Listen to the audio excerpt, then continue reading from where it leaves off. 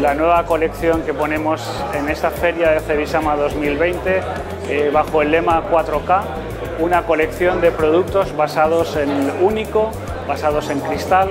en corium y en color que agrupa nuestra forma de entender los acabados superficiales y finales de las piezas que queremos presentar a nuestros clientes. Creo que la esmaltadura digital es la asignatura pendiente que queda todavía sobre el layout digital. Es una herramienta fundamental para poder acabar de completar lo que sería la decoración digital completa en un proceso cerámico y respecto a vuestra tecnología de DUR creo que va a ser muy importante poder ver toda la generación de relieves, de texturas desde un punto de vista digital que nos puede permitir personalizar todavía más los productos cerámicos.